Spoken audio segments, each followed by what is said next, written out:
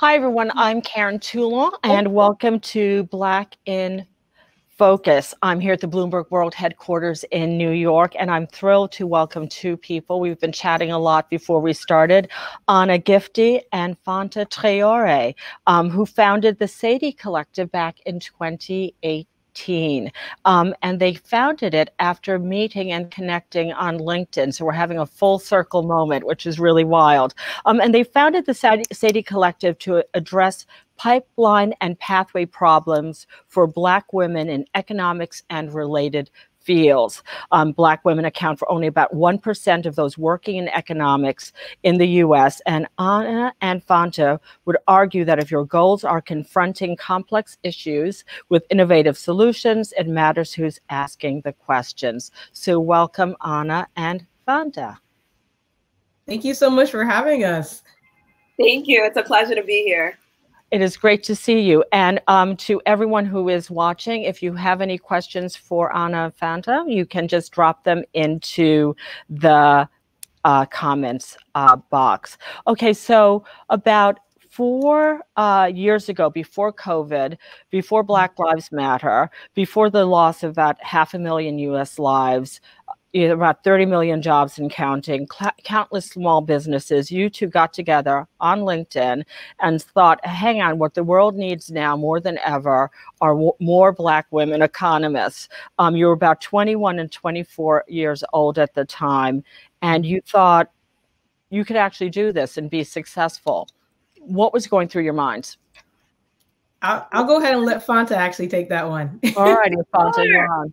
Yeah, so we have a bias towards action, and that really comes from our own personal approaches. And I'll speak a little bit about mine and then pass it on to Anna. And so I grew up with a mother who's an entrepreneur in New York. City, and she made a business for herself without actually having massive amounts of capital. And that experience, coupled with working in the social entrepreneurship ecosystem prior to working at the Fed, made me biased towards acting. So so that experience of, you know, being around young entrepreneurs between 15 and 22 years old in Africa who are starting businesses without capital, who are problem solvers, who are young people with a really large imagination, um, made it so that when Anna approached me about an idea that she had to organize an event for Black women in economics be a no-brainer.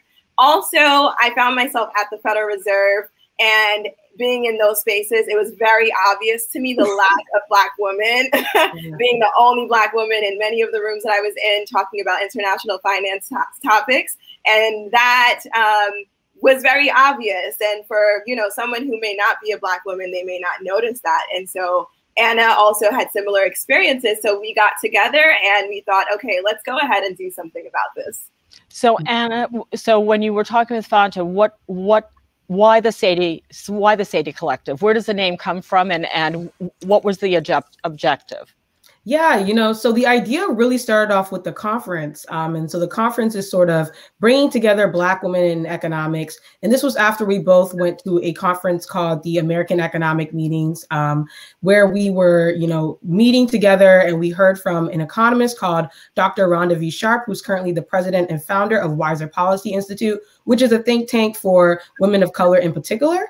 And so, in that speech that she was giving, she was talking about the lack of Black women coming into economics, right? There's already a very very small number of black women in economics but the pipeline is actually even worse than what is currently happening within the field and so when we when i approached fanta about the idea it really was a text that came out of multiple months of conversation around, you know, what does diversity in economics look like? You know, we are both entering spaces that are going to be predominantly white, predominantly male. How do we ensure that we are seeing ourselves in those spaces, but also making sure that the resources that we have been so blessed to have through um, folks like Dr. Lisa D. Cook, who is currently a professor at Michigan State University, um, how do we make sure that those resources and those individuals are connected to our community and our friends, et cetera? And so really the conference was my idea, but the organization was Fanta's. And so Fanta said, you know, why don't we actually organize events and programming around this conference? And that's really how things got started. Wow. And so the Sadie Collective now has an annual conference. And of course, we should talk about the original Sadie, who was the first Black woman economist in the United States, Sadie Alexander, who unfortunately, because of racism and sexism, actually did not practice as an economist. She practiced as a lawyer. Yeah. Um, but you you do the conference. You also put women together with resources and other material. But what I find most fascinating is the work you do around your around your your research letters and your and this amazing open letter that you did, an open letter to economic institutions in June of 2020, um, that I kind of see as a little bit of a watershed moment. Um, it was right after the killing of George Floyd. Um, Anna, do you want to start off talking about this? Because I kind of see that as a real moment. Absolutely. So, you know, for those who don't know, the George Floyd protests really picked up quite a bit during the summer of 2020. Um, police brutality has been an ongoing national crisis in our country forever, but it really has picked up a lot of steam over the last few years due to efforts um, such as Campaign Zero, et cetera, um, and the ongoing protests and organizers who are on the ground. And so we really use this moment as a way to essentially talk to those who are in power, right? You know, one thing that Fanta and I both noticed on Twitter is that around George Floyd's murder, essentially none of the economists were talking. Nobody was saying a single word about it. And that was really concerning to us, considering that they actually sit in the rooms of people who make these decisions surrounding policies. And they also provide the analyses that justify why policies exist. And so we really looked at the open letter alongside our community and our wonderful team at the time as a way to really say, this is what needs to be done we have been in this profession for maybe a limited amount of time, but we've been Black our entire lives. And so when we think about the intersection of those two experiences, it's absolutely critical that economic institutions rise to the occasion and start addressing these issues. Excuse me. And, and Fanta, what are those issues? Because some people may not be able to see that line, snap that line from race to economic policy. Can you mm-hmm. help? Can you help connect those dots, please? Absolutely. So, a statement that we often hear institutions say is that they are world class institutions or they're striving to be. And the reality is that they cannot become that or be that if they don't have diverse decision makers in the room helping to inform the trajectory of their organization. So, for any organization, whether it's a policy program or economics department or a central bank, diversity is absolutely essential in order for good policies to be created. And bringing it back to economists and why we're focusing specifically on economists, we understand that economists help to shape the world. So, like Anna shared, they are in these rooms with decision makers if they are not the decision makers and helping to inform that the work that they do. And so, in that, um, it's very critical that that population actually mm-hmm. represents the larger society. And with having less than 1% in these institutions, this means that the population um, that is currently there um, not able to serve those who are in our broader society. So, one economist who's now in the room, very much so, is at the Labor Department chief economist uh, Janelle Jones, um, and and she's someone who you you know quite well, and she's caused a bit of a stir with her "Black Women Best" phrase. Um, can you talk a little bit about what that means? And, and some people are kind of interpreting that as um, uh, some people who have will have less because it's going to be given to other people. Um, what does what does she mean by black women best? Um, and, and how does that relate to policy? Yeah so black women best essentially boiled down says if we center economic policies on improving the economic outcomes of black women everybody subsequently benefits. And another way to think about it is the best outcome for black women in the economy is a better outcome for everyone else so, what does that mean? It means that Black women are essentially worse off on a number of economic indicators across the board. And so, if we are ensuring that Black women have access to housing, if we are forgiving Black women student debt, if we are ensuring that Black women have access to resources if they're small business owners, it turns out that Black women are actually worse off than everybody else. So, getting Black women those resources and forgiving that debt, et cetera, actually translates to every other group within the United States. And to add on to what Anna so eloquently shared is that the reality of America is that we live in a racialized society. And Isabel Wilkerson talks about in her latest book, Caste, about how we have a caste system. So being born in a particular racial group leads to a correlation with certain outcomes. And economists like Darrick Hamilton, Sandy Darity, and also Dr. Rhonda Vonshay Sharpe champion this idea of disaggregated data and how critical that is to creating a better society. So Black Women Best is really paying attention to this idea of intersectionality and also the importance of using disaggregated data in this caste system that we were born into in order to have better outcomes. Disaggregated data is something that's starting to um, catch on a bit. I, I, we we've been chatting a little bit about that, and and I think that's something that you're hearing more about. I mean, something that we certainly do talk about at Bloomberg. Um, for example, we do know that the unemployment rate is, you know, nationwide is let's say mm-hmm. it's six point two percent, but the Black unemployment rate is ten percent. Um, and then we look at something like the women's workforce participation rate, it's at a 33 year low. I mean, these wow. are very, very different ways of slicing employment, right? Um, and so it does really matter. Um, and then Dr. Cecilia Rouse, who's actually going to be speaking at our Equality Summit um, today here at Bloomberg, um, she's actually talking more about looking at race and gender when assessing the uh, success um, of programs. Um, and we also just uh, looked at the cost of slavery um, to the US economy um, and society. We have a paycheck podcast that I believe I sent you, and I also just mm-hmm. posted it to LinkedIn um, that looks at different um, effects of slavery on, on, on the US society. For example, um, $42 trillion in, in, in current dollars um, is the value um, that slavery has added to white society. Wow. Um, uh, two, $200 million was the amount of value that's been extracted from the black from black society due to lynchings and the destruction of the black wall street for example mm-hmm. um, and that 75% of, of american wealth is tied to home ownership mm-hmm. thus 75% of white fam- families own homes um, 4% of black families own homes 2% mm-hmm. of Hispanic families own homes, which is from Fed data. Um, and so when you look at um, policies, um, let's talk a little bit about the Fed, perhaps. And, and Fanta, you, you worked at the Fed. Um, Jerome Powell, in 2020 about the same time you put out your, your open letter to economic institutions he actually came out and, and, and talked about uh, the effects of racism and the fed's been talking a little bit more and more about really recognizing that race is indeed a factor in, in economic life. Um, do you have any thoughts about what more the Fed should be doing? That your 2020 letter did actually have some some proposals about what the Fed needed to do in terms of hiring and staffing and training. Any movement on that?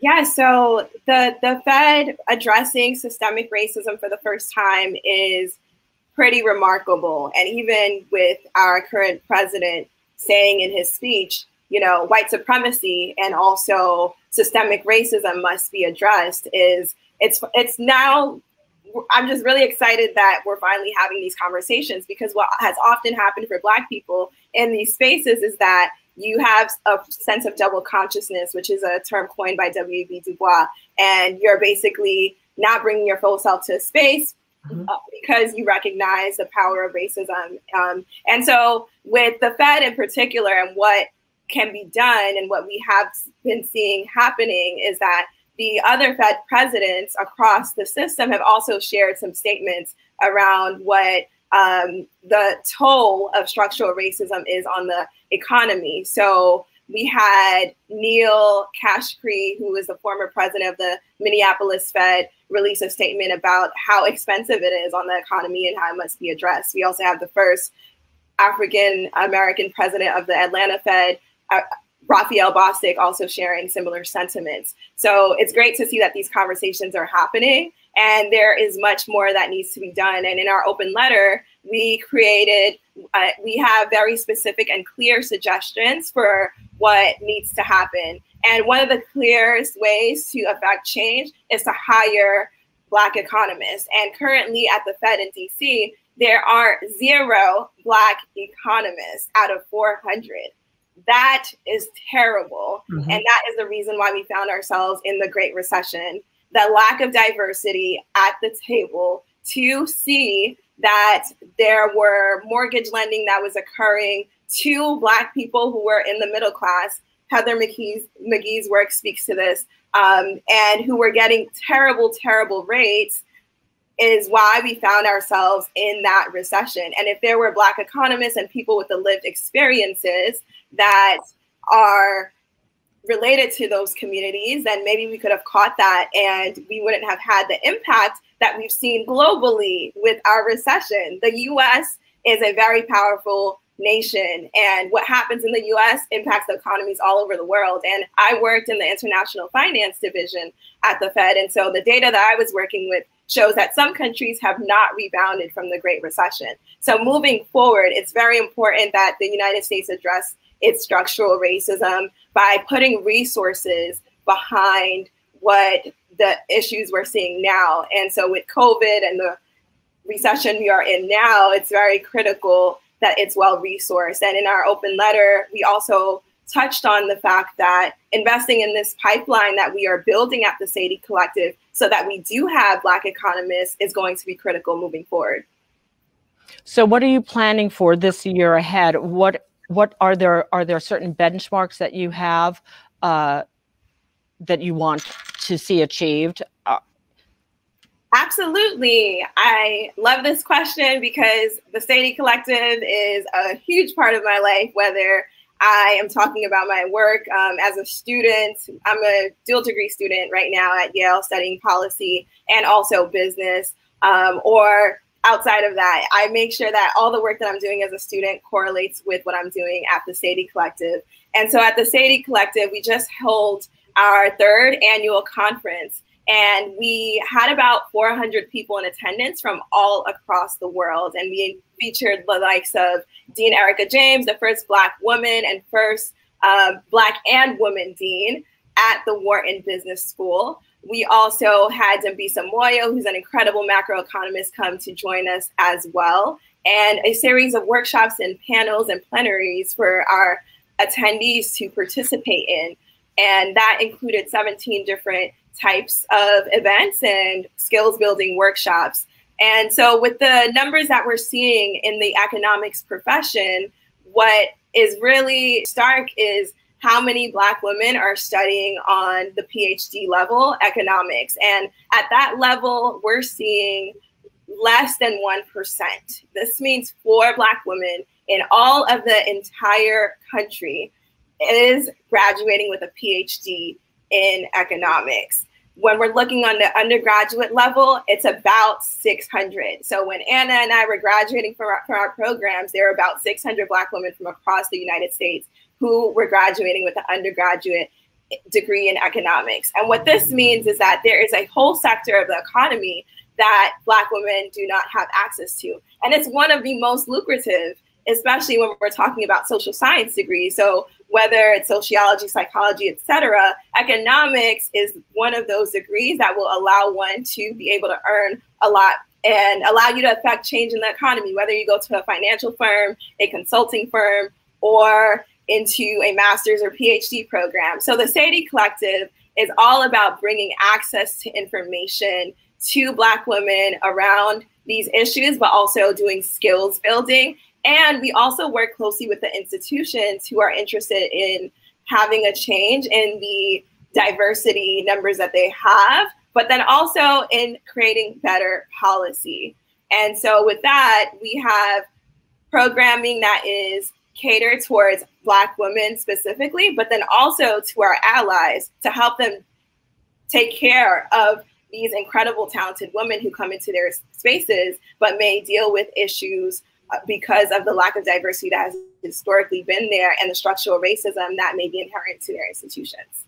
Yeah. What do you tell, what do you tell allies, Anna? What do you tell allies at institutions, whether they're terms or at at um, at colleges or universities? Yeah. What what do you tell at allies to do?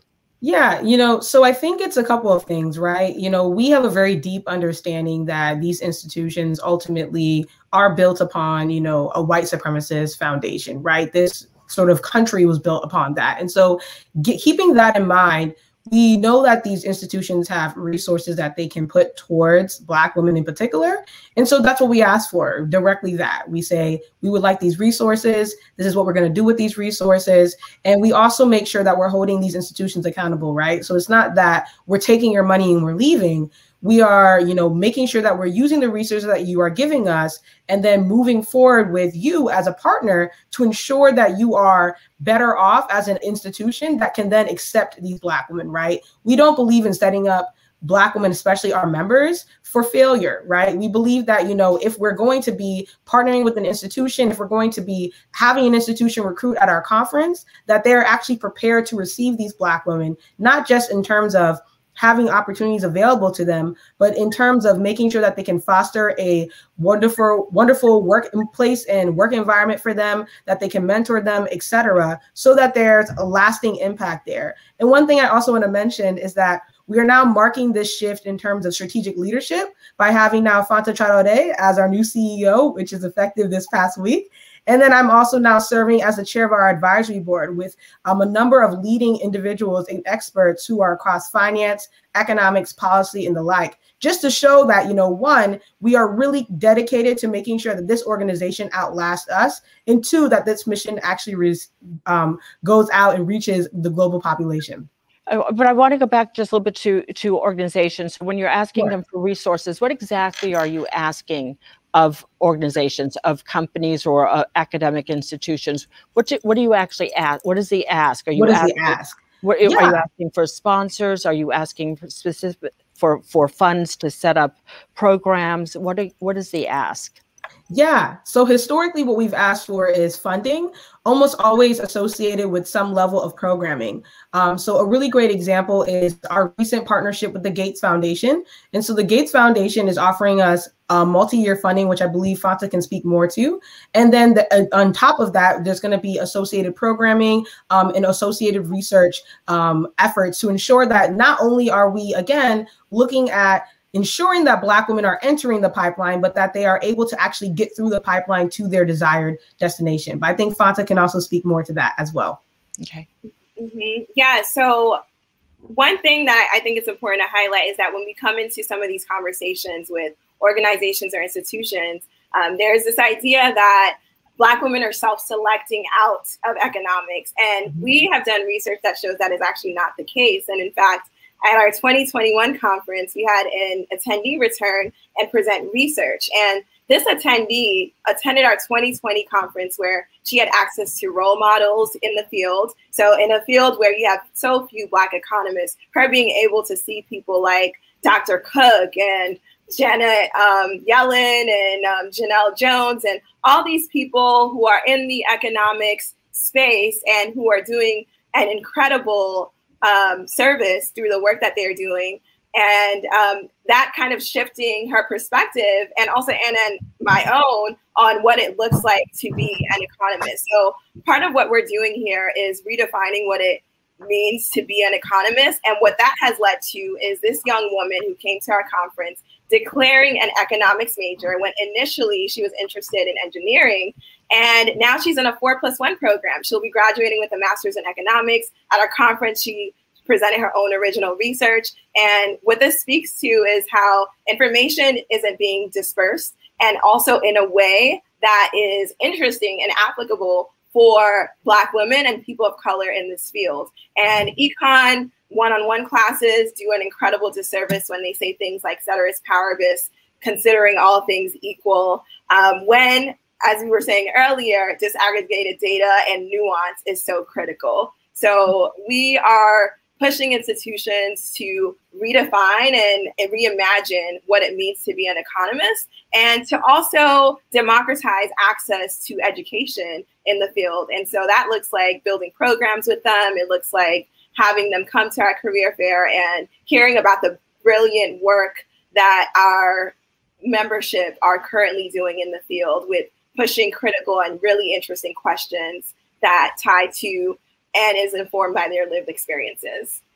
I was just reading some of the comments that we've been getting, and we've been getting a lot of comments about how, you know, just talking about the, you know, the good work that you've been doing. But what, you know, a couple of questions about has the Fed commented on um, you're pointing out their lack of diversity? Um, have you heard from the Fed at all? Has was there a response to your open letter um, suggesting more uh, hiring of, of, of researchers, of economists, of, of of other people at the Fed?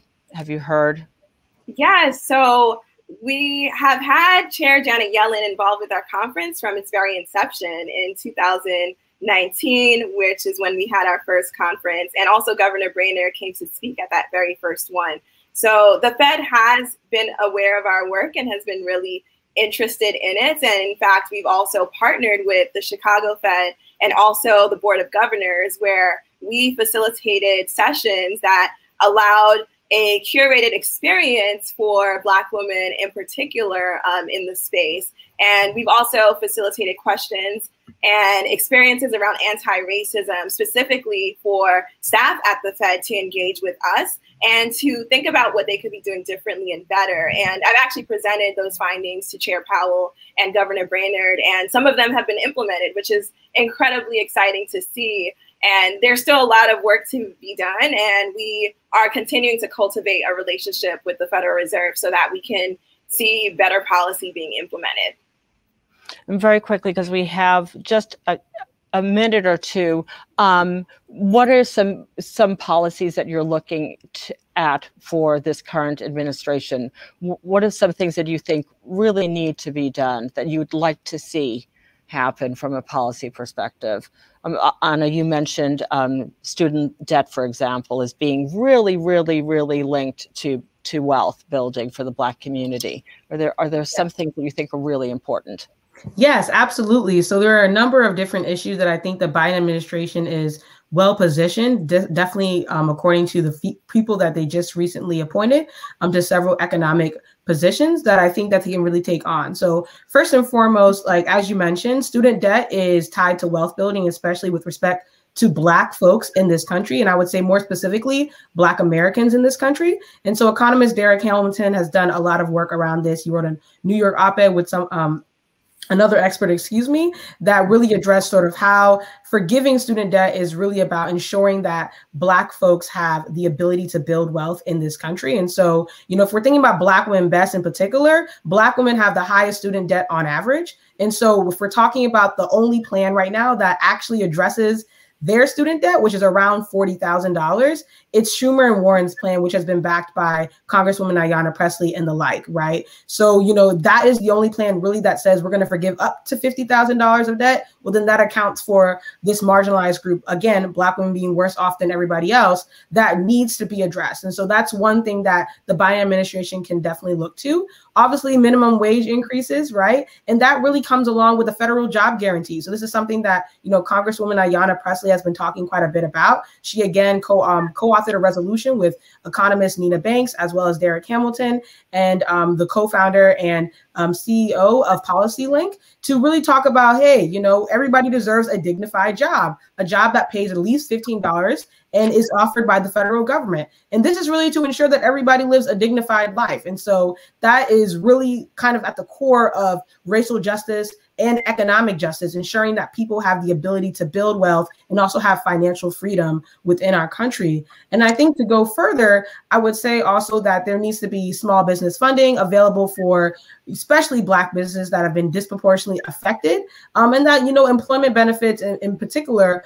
um, are also in abundance, so that Black women in particular who are disproportionately rep represented in essential work, now dubbed essential work, as, except you know the, the essential work doesn't have essential benefits. You know what I'm saying? Like right. this is really what we need moving forward. People need to be dignified in the work that they're doing, and I know Fanta may have some um, last words to add to that as well. in fact, I, I, maybe you'll include in there, I, you know, anything that the Fed may do around really looking at some of its levers that it can control. For example, the the CRA, the the Community Reinvestment Act, which some might say is more of a rubber stamp, and if it might be able to kind of actually put some meat behind that that tool and require bank, uh, you know, to be more um, discerning in how it really uses that that that lever that it actually can can mm-hmm. use and yeah. how it assesses. Can you can you comment at all on that? Sure. So so to finish out what Anna was sharing around policy recommendations, I'd also just emphasize that Dr. Sadie T.M. Alexander has been talking about a federal job guarantee since um, her times and her mm-hmm. her work. So I implore everyone to go learn more about her and all of the work that she's done as an economist. And she wasn't able to practice, but she did some really groundbreaking, riveting work during a time where segregation was rampant. And Dr. Nina Banks actually has a story on her life that she's publishing in the in the coming months. So definitely look out for that. On the topic of the Community Reinvestment Act, it's um it's a space that I am more so um, not as equipped to discuss, given that my work was focused on international finance. Um, so, mm-hmm. So with that, I think that um, someone else would probably be best positioned to mm-hmm. answer to answer that question.